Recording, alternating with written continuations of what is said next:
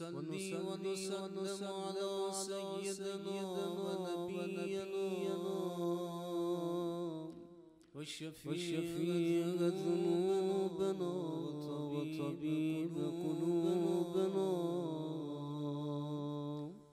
أبي القاسم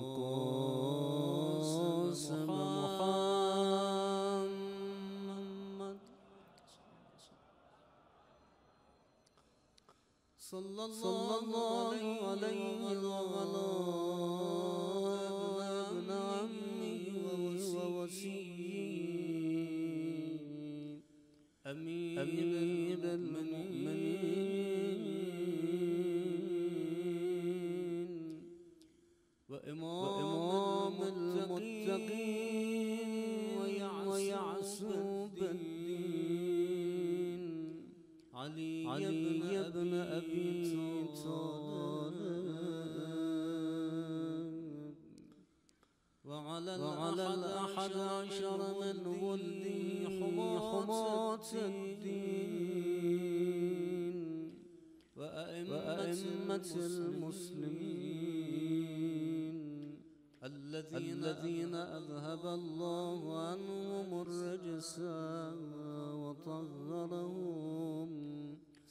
تطهيرا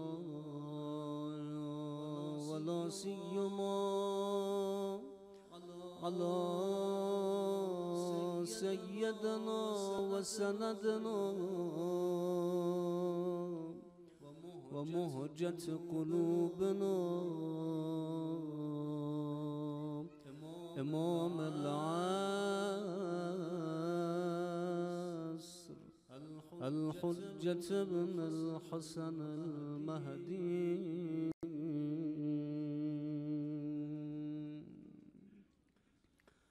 عجل الله تعالى فرجا وفرجنا بفرجه. هم جا بروم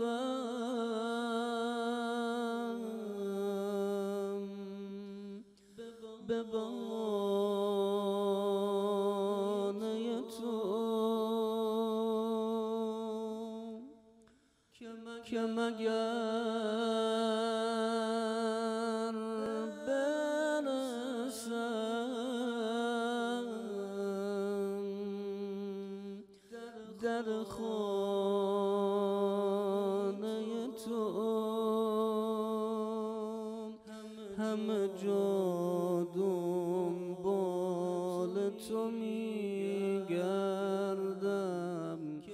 که توی درمان همه دردم.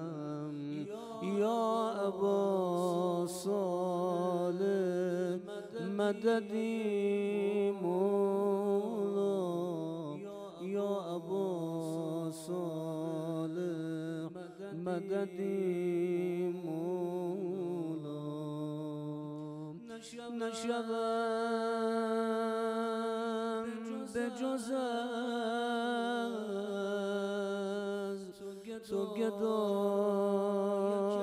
گدای کسی آقا نشوم به جز از تو گدای کسی بی ولای تو من نکشم نفسی که تو لیلای من مجنونی همه هست من دل خونی یا عباس صالح مددی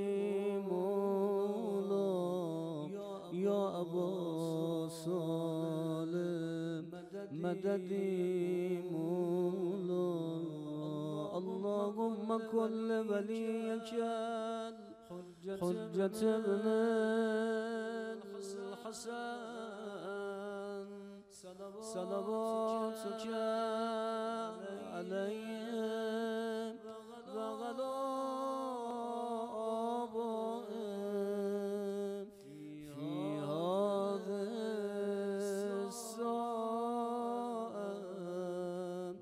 وفي كل سوء بليا وحافظ وقائد ونصر ودليلا وعين حتى تسكن أرضك توءا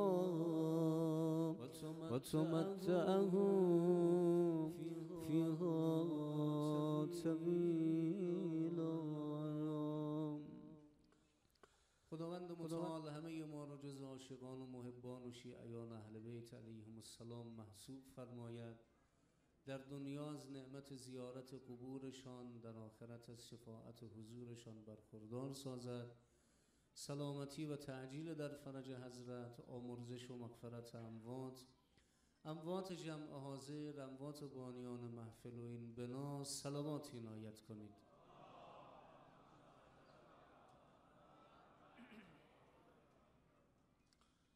در بحث شرایط قبولی عمل بحث به شرط دوم رسید که شرط اخلاقی است. و در شرط اخلاقی گفته شد دو عمل باید در ویژگی رفتاری انسان دیده شود تا اینکه خدا عمل آدمی رو بپذیرد و قبول کند. اولین مورد رو در نوبت قبل عرض کردیم این که گوهر اخلاص در عملکرد آدمی دیده شود. کار خدایی باشد نه ریایی. در زمان امیر المؤمنین سلام الله علیه دو تا قبیله عرب بودن. اینا شروع کردن قربانی کردن شطور میکشتن گاو میکشتن. قبیله اول مثلا شروع کرد چهار تا شطور رو کشت. قبیله رقیب گفت فلان قبیله چهار تا شطور کشتن ما پنج تا می‌کشیم. خبر رسید که فلان قبیله پنج تا کشته. گفتن ما که باید از اونا بیشتر بکشیم بالاتر قربانی کنیم. عدد رو بردن بالاتر. هی رقابت می‌کردن. کشتار متعددی صورت گرفت. قربانی می‌کردن دیگه. گوشت دست مردم می‌رسید. به فقرا کمک می‌کردن. اما چون رقابتی شده بود مسئله این می‌خواست از او کم نیاره این می‌خواست از او بیشتر بوده باشه. خبر به امیر المؤمنین سلام الله علیه رسید. کا جان ببینید چقدر اینها سفره کار خیر رو پهن کردن. ای پنج تا کشته ای شش تا زمین می‌زنه. ای هفت تا قربانی کرده ای ده تا قربانی کرده. امیر المؤمنین سلام الله علیه انسانی نیست که هیجانی بشه. انسانی نیست که تحت احساسات وجودی خودش حرفی بزنه. ما نگاهمون به امیر المؤمنین که نفس پیغمبر است جان پیغمبر است همون نگاهی است که به پیغمبر اسلام داریم. منتها یکی پیغمبر است یکی پیرو پیغمبر. خدا در حق پیغمبر اسلام میفرماید رسول ما حبیب ما حرفی که می‌زند از جانب خداست. و ما ینطق عن الهوا این هو الا وحی یوها هر چی میگه از جانب خداست. این همه آوازها از شه بود گرچه از حلقوم عبدالله بود. این مسئله رو مطرح می‌کنه. امیر المؤمنین هم که احساسی هیجانی حرف نمی‌زنه. اینا اینقدر قربانی کردن امیر المؤمنین بیاد مثلا علیه اونها یا له اونها یه حرفی بزنه یا تعریف کنه یا تمجید کنه یا مثلا نکوهش و سرزنش داشته باشد. آ فرمودن اگه از این گوشت های قربانی برا من بیارن لب نمی‌زنم. نمی‌خورم از این گوشت آقا چرا؟ مگه مشکلی داره؟ قصابش مسلمان بوده طرف قبله ذبح کرده. تمام بفرمایید فرمولای شرعی رو هم مد نظر داشته. چرا نمی‌خونی؟ بسم الله گفته. قصابش مسلمان آقا فرمودن به خاطر که این گوشتا رو به خاطر خدا که قربانی نکردن. این همه گاو و شطور که زمین زدن به خاطر اسمش بوده به خاطر قبیله خودش بوده نه که به خاطر خدا. در سوره مبارکه حج میگه خب شما قربانی می‌کنی این خونش که به درد خدا نمی‌رسد لن ینال الله لحومها ولا دماؤها. نه خونش به خدا می‌رسه نه خدا هم بند این گوشت قربانی است او چیزی که مهمه که یناله التقوا منکم. اگر توی انسان از سر تقوا از سر اخلاص این عمل رو انجام بدی خدا میپذیرد. آ فرمودم به درد نمی‌خوره. چرا؟ چون به خاطر خدا نبوده. کاری رو خدا میپذیرد که به خاطر او بوده باشد. یا کشته ای بود در بین شهدای یکی از غزوات پیغمبر. آ پیغمبر بر شهدا نماز خواندن. یکی یک اونها رو دستور دادن دفنشون کنید. اما این شهید رو که آوردن پیغمبر فرمودن من برش نماز نمی‌خوانم. آقا یا رسول الله ای هم داخل شهدا بوده ای هم جزء مجاهدین در رکاب شما بوده. به همه نماز خواندی به این نماز نمی‌خوانی. فرموده بله. چرا؟ فرمودن ای به خاطر دین خدا شمشیر نزد ای به خاطر حاکمیت قرآن و دستور دینی الهی شمشیر به دست نگرفت. بله به جهاد آمد. در جنگ حاضر شد. دفاع کرد. جان خودش رو هم گذاشت اما بی ارزشه. چرا؟ چون تعصب و عربیت او سبب شد پا به جبهه بگذارد. خبر داده بودن که مثلا عده از کفار و قریش قصد این رو دارن بیان به مدینه حمله کنن. تمام نخله های و خرمای مدینه رو غارت کنن. خب حالا این بنده خدا به خاطر خدا نیامده بوده به خاطر خرما آمده بوده. دفاع کرده او هم ایستاده. او هم شمشیر زده. اما به خاطر خدا دفاع نکرده. به خاطر حمایت از نخلهای مدینه شمشیر به دست گرفته. ای به درد نمی‌خوره. پیغمبر فرمودن برش نماز نمی‌خونم ببینید اخلاص چقدر اهمیت داره. جان خودشو داده. اما پیغمبر می‌فهمه بی ارزشه.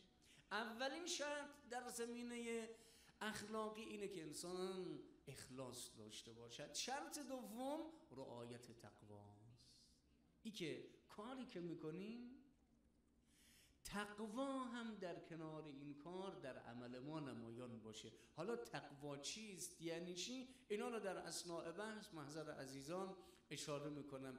در شب اولی که بحث رو محضر عزیزان پای ریزی می‌کردیم عرض کردیم فرزندان آدم ابوالبشر دو تا از پسران آدم اینها به جان هم افتادن. یکی دیگری رو کشت. علتش هم قبول شدن عمل یکی وارد شدن عمل دیگری است. در اونجا خدا میگه اگر ما عمل حابیل رو پذیرفتیم به خاطر این است که تقوا داشت. اگر نظر قابیل مردود شد چون تقوا در عمل کردش دیده نمی‌شد. انما یتقبل الله من المتقین. هر کی با تقوا کاری بکنه خدا ازش میپذیره. به کم و زیادم خدا نمره نمیده. به کم و زیاد خدا نمره نمیده. امیر المؤمنین مگر اون شب عرض نکردیم چند قرص نان به فقیر میده. چند تا نون میدن به دست یک فقیری مسکینی اسیری. 18 تا آیه قرآن نازل شد. چرا؟ چون تقوا داره.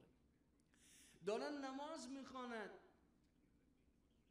ابوذر کنار کعبه ایستاده بود گفت مردم هر کی منو می‌شناسد که خوب و الا من ابازر صحابی پیغمبر اسلام هستم. بعد می‌خوام یک فضیلتی رو به شما بگم یک حدیث و روایتی رو از پیغمبر نقل کنم که اگر با گوش خودم نشنیده باشم گوشم کر بشه. اگه با چشم خودم ندیده باشم چشمانم ازم گرفته بشه. به تعبیر خودش رو نفین کرد که اگر دروغ بگم میگه در مسجد بودیم عده نماز میخواندن عده قرآن میخواندن عبادت مشغول بودن. یک فقیری آمد عرض حال کرد که ای الناس ای صاحب کرامت شکرانه سعادت روزی تفقدی کن درویش بینوا هیچ کی به حالش دل نسوزان. هیچ کی به فکرش نبود. همه پشت گردن رو خاروندن. میگه در این میان آقای عالم امیر المؤمنین علی علیه السلام که در حالت نماز بود ذکر رکوع می‌گفت به یک شکلی طرف رو به خودش متوجه کرد بهش فهمان که بیای انگشترم رو بگیر. آیه نازل شد. انما ولیکم الله و رسوله آمنوا الذین یقیمون الصلاة و یؤتون الزکات و هم راکعون. یک انگشتر داد. آیه نازل میشه. خیلی آمدن با هم تبانی کردن که فلانی من نماز می‌خوانم. تو بیا وارد مسجد شو به مردم بگو بهم کمک کنید. من انگشتر میدم ببینیم خدا در حق هم آیه نازل می‌کنه. هیچی نازل نشد. چرا؟ چون اولی بر اساس تقواست. دومی تقوا درش دیده نمیشه. و خدا عملی که تقوا داشته باشد رو میپذیره. انما یتقبل الله من المتقین. در روایات داریم او عملی که خدا قبول می‌کنه کم و زیاد درش مطرح نیست. و کیفه یقل ما یتقبل. چیزی که خدا قبولش کنه دیگه کم و زیاد درش معنا نداره. ادهی آمدن در مدینه یک مسجدی ساختن به نام مسجد قبا. بزرگوارانی که مکه مشرف میشن عمره مشرف میشن میرن در این مسجد نماز می‌خوانن. سالیان سال هر روز هزاران هزار نفر میاد در این مسجد نماز می‌خوانن. این ثواب به اون بانیان مسجد هم می‌رسه. عده دیگری هم آمدن در زمانی که حکومت اسلامی دستش باز بود. قبا که پیغمبر میساخت خیلی مشکل اقتصادی داشتن. دوران سختی اسلام بود. اما به یک شکلی آمدند این بنا رو ساختن اما وقتی که این مسجد دوم که مسجد زرار نامیده شد رو می ساختن خیلی دست مسلمان ها باز بود. چند نفر از تجار و متمولین آمدن زمینی رو دیدند و شروع کردند نقشه کشیدند و مسجد رو ساختن. آخرم به پیغمبر گفتن یا رسول الله یک دو رکت نماز بیا در این محراب مسجد ما بخوان. خدا به پیغمبر امر می‌کنه یا رسول الله لا تقوم فیه ابدا. نشه بری نماز بخوانی. اجازه نداری در این مسجد قدم بگذاری. او مسجدی زیبنده است که تو در اون نماز بخوانی که خشت خشتش رو بر اساس تقوا چیده باشن. لمسجد اسس علی التقوا من اول یوم احق ان تقوم فی این مسجد صلاحیت داره که تو درش نماز بخوانی. و الا مسجدی که به خاطر ضرر زدن به اصل اسلام و مسلمین به خاطر اسم و رسم خودشون به خاطر نشان دادن ثروت و سرمایه خودشان درد نمی‌خوره پیغمبر فرمودن مسجد رو تخریب کنید. خرابش کردن. این همه هزینه یک جا از بین میره. به درد نمی‌خوره. تقوا نیست. انما یتقبل الله من المتقین. وقتی که میگه خدا از انسانهای تقوا پیشه کاری رو میپذیرد بزرگواران تقوا عمومیت دارد. نمیشه بنده بیام تقوا رو فقط و فقط در عرصه نجاست و پاکی مد نظر بگیرم. که اینجا نجس شده آقا بیاین اینجا رو آب بکشید. این میشه تقوا بله باید کارها رو بکنیم. اما همه تقوا که این نیست. نماز اول وقتش رو می‌خواند اما از اون طرف پشت سر مردم هم خوب غیبت می‌کنه. این تقواست روزش بفرمایید قضا نمیشه همیشه اهل روزه است. روزه ماه مبارک رمضان رو می‌گیره اما از اون طرف هزار فسق و فجور رو هم در کنارش انجام میده. به درد نمی‌خوره ارزش آنچنانی ندارد. این نماز نمی‌تواند نمازی باشد که از صلات و قربان و کل تقیین. این اون نمازی نیست که از صلات و معراج المؤمن انسان رو به اوج می‌برد. گفت به معراج برایید چو از آل رسولید. رخ ماه ببوسید چو بر بام بلندید. این نماز. از اون خصوصیت ها نداند که آدم رو به اوج برساند. تقوا درش دیده نمیشه. انما یتقبل الله من المتقین. در صدر اسلام امام صادق سلام الله علیه در بازار رد می شدن دیدن یک انسانی که اسم و رسمش خیلی شهرت یافته بود. اسم نمی‌برن خیلی قبولش داشتن. دین خودشون رو از طریق او می‌گرفتن در احکام شرعی. امام صادق همچی که رد می شدن دیدن که این آقا از کنار یک مثلا میوه فروشی رد شد یک دو تا انار بر برداشت. دزدی. خیلی تعجب. فلانی دزدی کنه. دنبالش کردن دیدن که از دم یک نونوایی هم رد شد یک دو تا نون هم از اونجا برداشت. ای که دزدی می‌کنه. چرا این کار رو می‌کنه؟ تعقیبش کردن دیدن این انارها رو به یک یتیمی داد نونها رو هم به دامن یک فقیری گذاشت. امام به خودشون گفتن هم دزدی کرد هم انفاق کرد. خب چرا بدزدی که؟ ببخشید آمدن بهش گفتند که چرا این کار رو کردی؟ به حضرت نها کرد گفت که تو که خودتو فرزند پیغمبر میدانی امام میخوانندت به تعبیری قرآن رو هم بلد نیستی. قرآن هم تو بلد نیستی یاد نداری. امام فرمودن منظورت چیه؟ گفت کن فاش می‌گویم و از گفته خود دلشادم بله دزدی کردم. دو تا سرقت کردم. یک اناری برداشتم نونی برداشتم. قرآن چی میگه؟ میگه من جا بالحسنت فله عشر امثالها. اگه یک قدم برداری خدا ده برابر بر میداره یکی انفاق کنی ده تا خدا بهت میده. یک کار خیر انجام بدی ده تا جواب می‌گیری. من جا بالحسنت فله عشر امثالها ده برابر میشه کار خیره از اون طرف می‌فهمند و من جا بالسیئت فلا یجزا الا مثلها. عمل خلافی که انجام بدی فقط یک بار تنبیه میشه. چی شون؟ کار خیر انسان رو ضرب ده می‌کنن. کار قبیه انسان رو فقط ضرب یک می‌کنن. گفت جان دزدی کردم. احسانم کردم. هم دزدیدم هم بخشیدم. دزدی من ضرب یک میشه. دو تا دزدی کردم میشه دو تا نمره منفی. از اون طرف دو تا انفاق کردم. دو تا ده تا میشه باید 20 تا. خب این دو رو از 20 که کم کنی میشه 18 تا ثواب. او هم به نونی رسید به اناری رسید. 18 تا ثواب هم خدا به ما امام طرفش آقا خدا نکنه انسان کج فهم باشه. خدا نکنه آدم سطحی نگر باشه. امان از سطحی نگری. مولوی میگه ای که ابلیس بر آدم سجده نکرد علتش اینه که نگاه کرد جنس آدم از خاک از گله. گفت خدایا تو اشتباه کردی. ای که من بیام برش سجده کنم اشتباه غلطه. آدم باید به من بیاد سجده کنه. تو باید می‌گفتی ای آدم اسجد ابلیس اینطور باید می‌گفتی. نه فهمیدی خدایا اشتباه کردی. گفتی اسجد آدم چرا؟ چون خلقتنی من نار و خلقته من تین. من نورانیم. من تولید گرما می‌کنم. اما آدم که خاکیه. مولوی میگه همین سطحی نگری ابلیس. سبب شد که خدا او را از بهشت از اون باغ بیرونش کنه. تو ز قرآن ای پسر ظاهر مبین. دیو آدم را نبیند غیرتی. سطحی نگری هاست که امروزی بلا رو در کشورهای اسلامی ایجاد می‌کنن ساده انگاری هاست که این بفرمایید دود رو داره به چشم جهان اسلام می‌بره.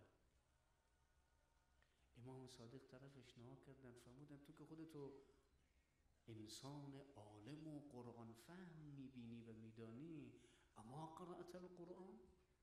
قرآن رو مگه بلد نیستی؟ مگه نمی‌خوانی؟ نمی‌شناسی؟ نمی‌فهمی؟ تعجب کرد گفت مراد چیست؟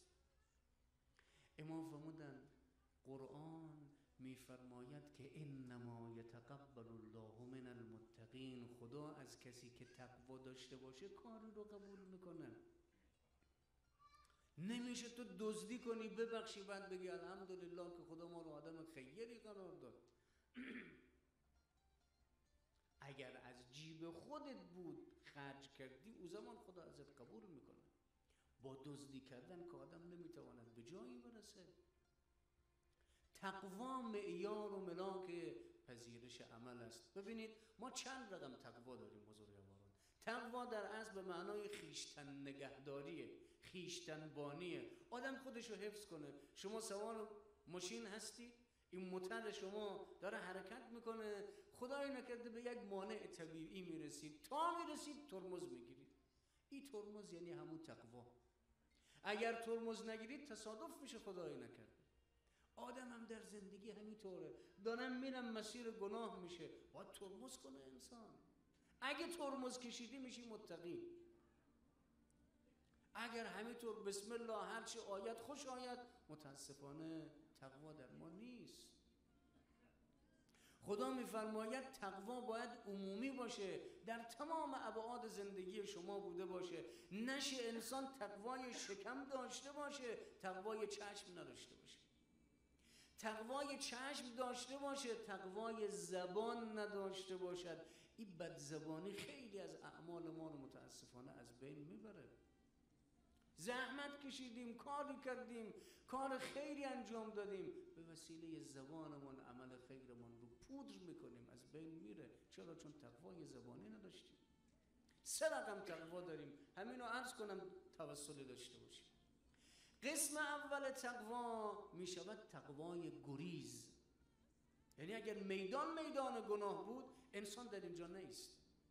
همون کاری که یوسف صدیق می‌کنه وقتی که یک گناه لذیذ آماده برای او فراهم شده است وقالت هیتلک از یوسف می‌خواد زلیخا کامجویی کنه حضرت یوسف ایستاد فکر کنه نگاه کنه نه این مجلس مجلس گناه صبر کنه توقف کنه درنگ کنه. ای بسا متاسفانه حالتی رفت که محراب به فریاد آید به وجود بیاد. تا گفت هیتلک حضرت یوسف رفت فرار کرد. ما هم باید به همین شکل باشیم. وقتی که انسان نمی‌تواند در محیط تأثیر ایجاد کنه حداقل کار خودش این است که از محیط خارج بشه. تقوای گریز یعنی. گاه تقوا تقوای پرهیز است. یعنی کنید در محیط گناه به سر می‌بره اما تن به گناه نمیده گناه رو انجام نمی‌دهد. موسی کجا بزرگ شد بزرگواران حضرت موسی کلیم کجا رشد کرد؟ کجا قد کشید؟ کجا جوان شد؟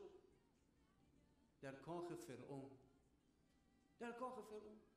همون اولی که بفرماد این رو به رود نیل انداختن از رود نیل گرفتن مادرش هم آمد. قسمت زیادی از عمر حضرت موسی در کاخ فرعون بود. بدترین آدم فرعون بود دیگه.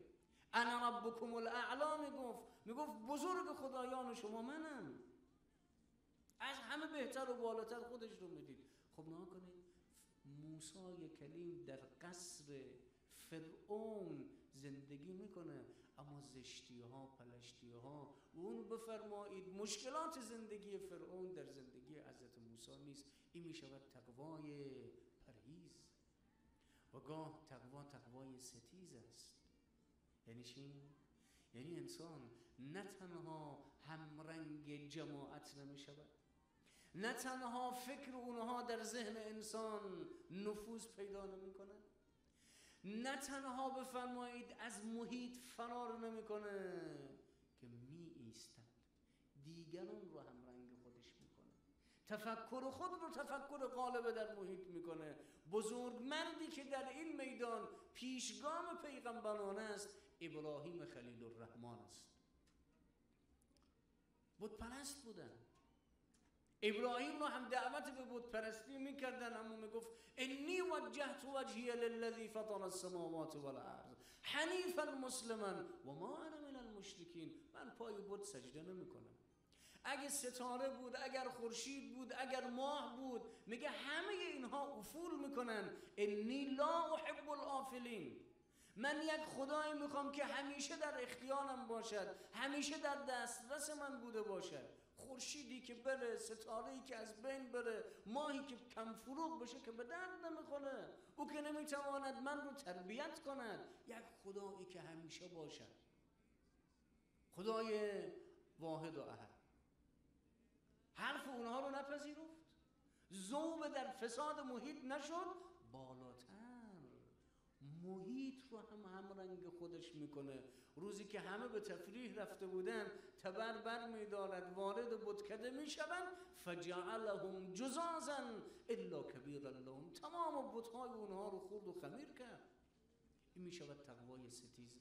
حالا اگر این تقوای پرهیز و ستیز و بفهمید گریز در من و شما هم بوده باشد کاری که بکنیم خدا عمل آدم رو قبول می‌کنه نگاه کنید بزرگواران یک شخصی هست به تلفن شما زنگ میزن بنده تلفن رو بر میدارم با او صحبت می‌کنم اما گاه نه در یک جمعی هستیم تلفن میاد. بنده تلفن رو می‌گذارم روی آیفون. من تنها نمیشنوم.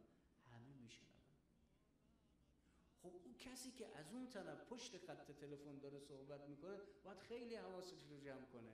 نشه یه حرفی بزنه که به این بزرگوارانی که دارن صدای او رو میشنون بر بخوره جسارتی بکنه توهینی بشه. عالم روی آیفونه. عالم روی آیفونه. هر کاری که ما می‌کنیم خدا می‌بیند خدا می‌داند. و کنت انت الرقیب علی من ورائه. خدایا هر کاری می‌کنیم تو شاهدی. نه تنها خدا می‌بیند و می‌داند که پیغمبر و اهل بیت هم می‌دانند. و قل اعملوا فسیر الله عملكم و رسوله والمؤمنون نه تنها اولیاء دین پیغمبر اسلام می‌بیند و می‌داند که همین زمینه که ما و شما داریم روش راه میریم او هم عمل کرده من رو می‌بیند. فردای قیامت شهادت می‌دهد. یومئذ تحدث اخبارها. به ان ربک اوحالها همین زمین شروع می‌کنه به حرف زدن. عین یک خبرنگار عین یک ژورنالیست که زمین آن روز آید اندر سخن. بدهد اخبار از عملها تن به تن. هر که هر کس کرده اندر پشت او بازگوید بی تعمل مو به مو. فکر نکنیم فقط خدا این مجلس ما رو می‌بیند. فکر نکنیم فقط اهل بیت و امام حسین و اول فضل العباس علیه السلام بوسیدن علم بنده رو می‌بیند. این روزه خواندن و منبر رفتن و قرآن خواندن بنده رو می‌بیند. چون به خلوت می‌رویم آن کار دیگر می‌کنیم رو هم می‌داند. او رو هم متوجه است شاهد است ناظر است. همه چیز ما رو می‌بینه.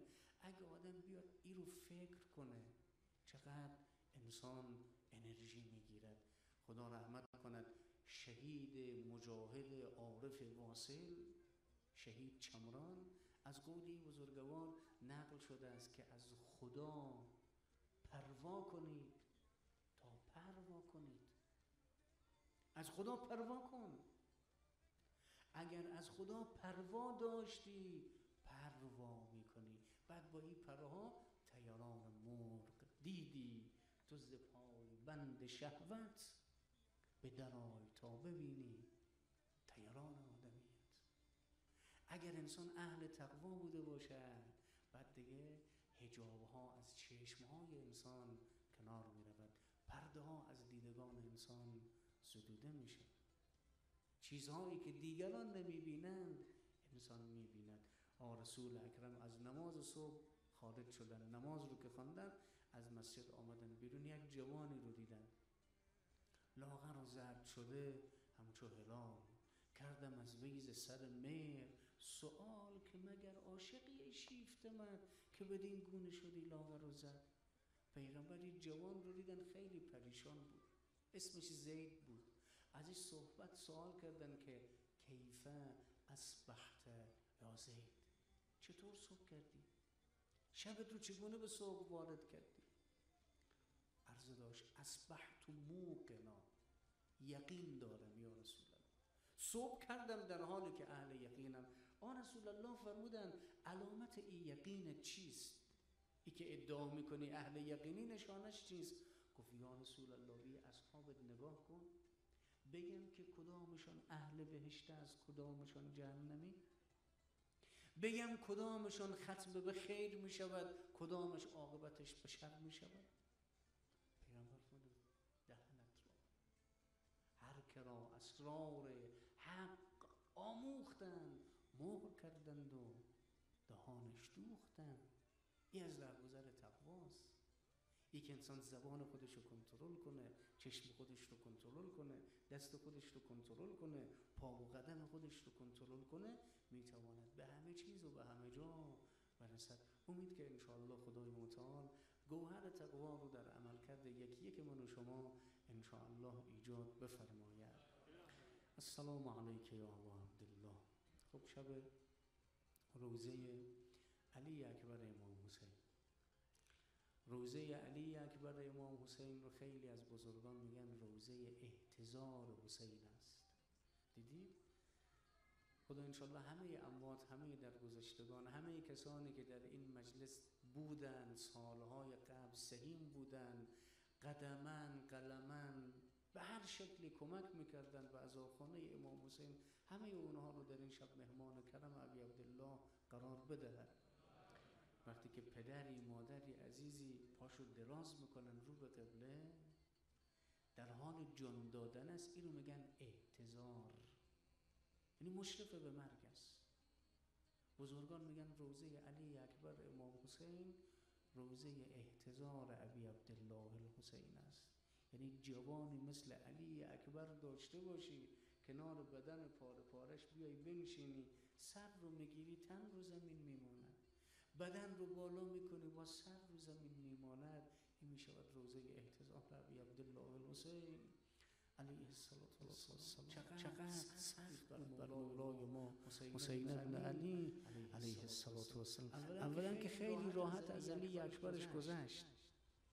هر کدام از شهدای کربلا با اصرار از حسین رضایت میدان گرفتن التماس می‌کردن قاسم ابن الحسن آنقدر اصرار کرد گریه کرد بیحال و بیرمق شد. تا آقا بهش اجازه داد. اما وقتی که علی اکبر آمده بود از پدر اجازه میدان بگیره فاستأذن للحرب ابا. فأذن له. تا گفت بابا جان می‌خوام میدان برم. بغلش کرد. برو. برو علی جان تو رو به خدا میسپارم یه پدر اون شما پدری جوان داری.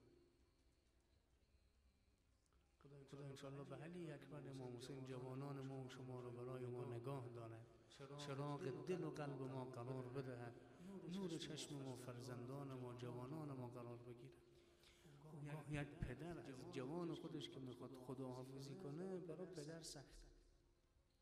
این جوان می‌خواد به یک سفری بره کنه با خودش. دل من پدر رو هم داره می‌بره.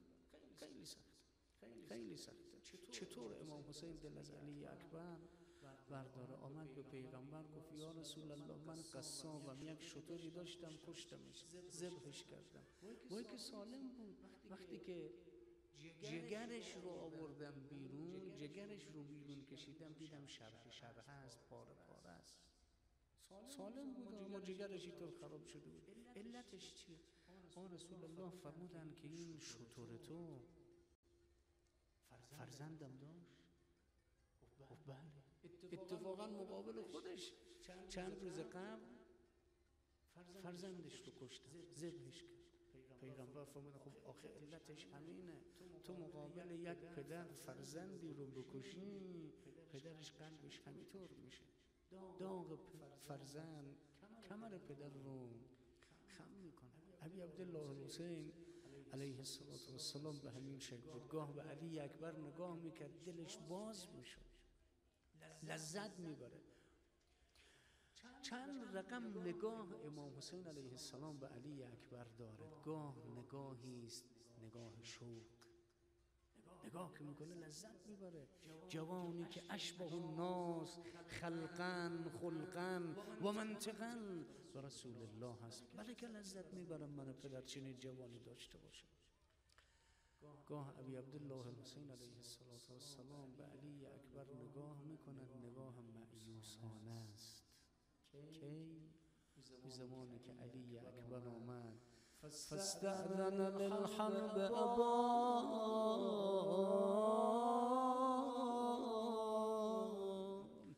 فأذن له إجازة ميدان خاص. تدار به منم ميدان میدان رفتن جوام شرب قلبي زلت ألي قلب بوسم كل فرمودن علی جان من نگویم که تو ای ماه منو لیک قدری بر من راه برو.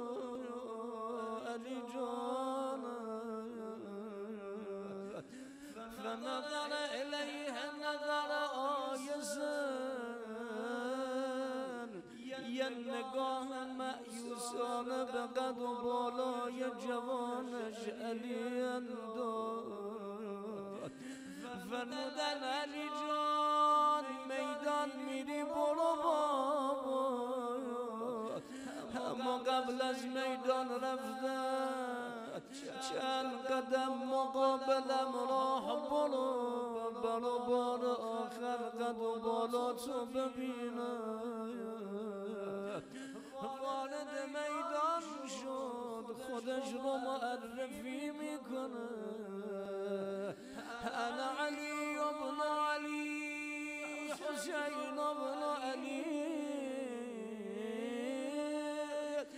نحن وبيت الله أولى بالنبي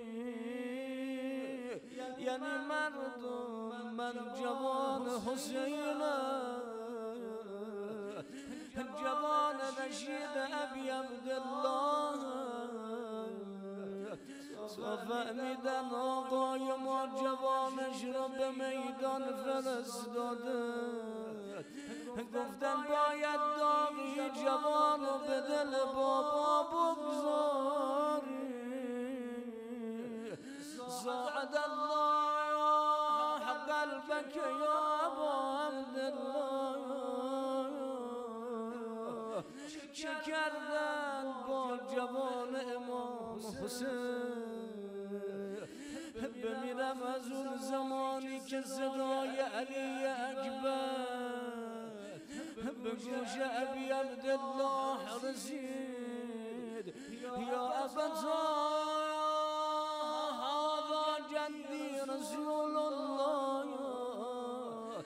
رزقوني بجازلة وفوق يعني بابا ببين جدا في غنبرهم رسول الله دار سيرا بمي با سرعت خودش رو به بدن علی رسول بمیرم برو زر علی رو به دامن گرفت دلش آرام نشد. زر علی رو به سینه گذاشت. بازم دلی پدر قرار نگرفت. یه زمانی ببینن وزع خده گوالا خده یعنی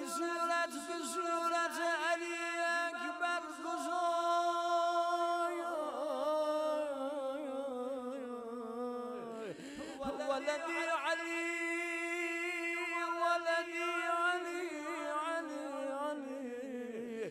حيدر علي رزدام زل علي جدر رزدام زل يجيزي بكو بابا أي پسر من في رجال پدرم پیرزا زمین گیر سخنی گوی و دلم را خوش کن. تو که زده خاموش کن. یه زمانم جوانان بنی هاشم صدا بزنه بیایید بدن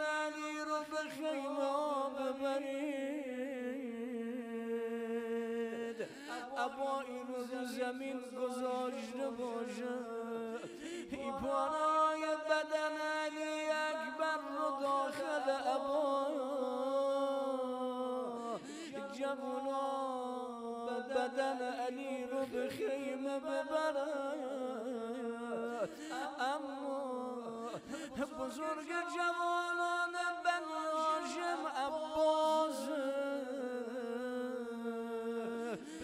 خودش بگه عباس این جوانا بدن علی رو به خیمه می‌برن عباس تو برو زیر بغل حسین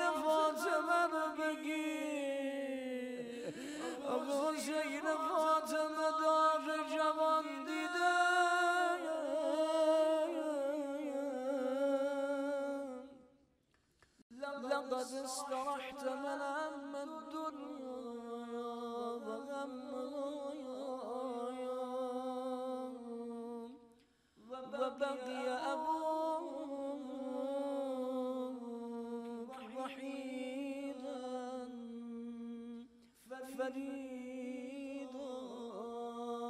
بأبي أنصر ونفسي وضاني يا أهل بيت النبي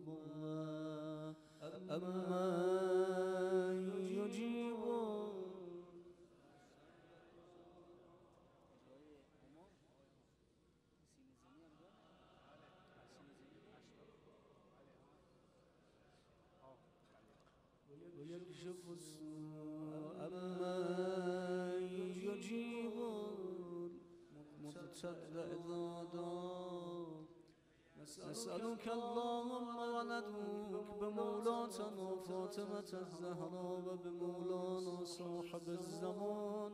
استجب دعواتنا. يا الله. اللهم عجل لوليك الفرج تعجیل در فرج مولایمان مرحمت بفرما. سلام عرض ارادت و تسلیت ما محضرش ابلاغ گردان. مال و مشمول دعاهای خیر حضرتش قرار بده. دعاهای امام زمان در حق همه ما مستجاب فرما. به جوان رشید ابی عبدالله حسین و علی اکبر امام حسین جوانان ما رو از فتنه های آخر الزمان مسون و محفوظ بدان. خدایا توسلاتمون به کرمت قبول ذخیره شب اول و قبر قیامتمون قرار بده. دعاهایی که من بعد می شود به هدف اجابت مقرون. بالنبی و آله الفاتحة. و السلامات